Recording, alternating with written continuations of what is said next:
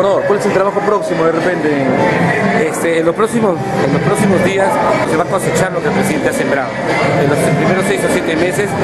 el ingeniero Nelson Chuy ha sembrado en diferentes instancias, ministerios, ya está por salir el colegio Augusto Beleguía, la obra de Mala, este, este, saneamiento, otra obra en Asia, eh, y así, veremos que en los próximos cuatro meses ya estamos, como vuelvo a repetir, cosechando lo que hemos sembrado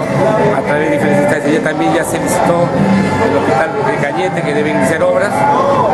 y creemos que, eh, así como todo gobierno que, se inicia, seguridad, justamente ya, ya se hicieron las coordinaciones, estamos eh, rotando de unidades, ya se ha hecho un, trabajo coordinado con el alcalde provincial y con la policía